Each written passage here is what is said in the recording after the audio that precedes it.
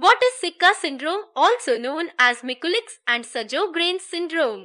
Sicca syndrome is a health issue in which the proper function of the exocrine glands is disrupted. As the condition worsens, sufferers begin to experience dryness in the eyes and mouth. If not treated in time, the illness can interfere with moisture content in various organs of the body, leading to a wide range of serious health problems. The exocrine glands produce and release hormones into the duct glands.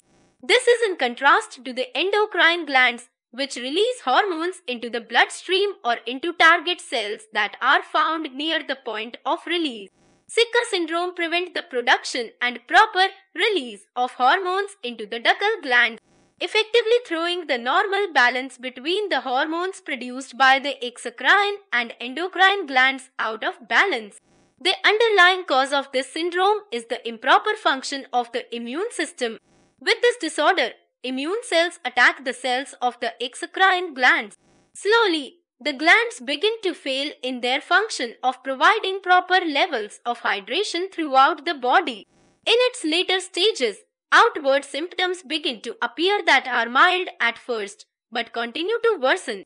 Various types of rheumatic disorders can trigger the immune system dysfunction, or the syndrome can develop on its own for reasons that have not yet been fully understood. There are two outward symptoms that can indicate the presence of Sicca syndrome. The first is a noticeable decrease in tear production and eye moisture in general. The dry eyes that develop are often painful and over time can mean a loss of vision. Along with the eye dryness, a noticeable lack of saliva production takes place. As the dryness of the mouth escalates, it begins to affect the ability to swallow as well as causing damage to the tissues of mouth interior. The constant need to rehydrate a dry mouth progresses from being a mild annoyance to being a constant necessity. However, this condition does not stop with affecting the eyes and the mouth. Over time, the disease can cause the skin to begin drying out, making the top layer of skin dry and easily irritated. Interior organs are also at risk. Since the continuing decline of the exocrine glands makes it impossible to produce moisture that is needed for the proper function of such key organs as the brain, liver, kidneys, and pancreas, even the lungs can be adversely affected if the syndrome is not treated. Diagnosing Sicca syndrome can be done with a blood test. The test will measure the amount of antibodies found in the bloodstream. In particular, the level of anti-nuclear antibodies, ANA, is checked as part of the process in addition to the blood test.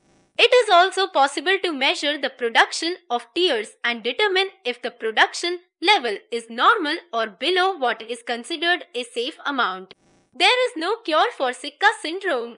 For this reason, treatment focuses on making up for the failure of the exocrine glands and keeping the organs of the body properly hydrated. Artificial tears are administered daily in order to help with dry eyes. While prescription medications like pilocarpine or cevimeline are administered to help increase the flow of saliva to a normal range. Various other medications can help protect internal organs from complications arising from the syndrome.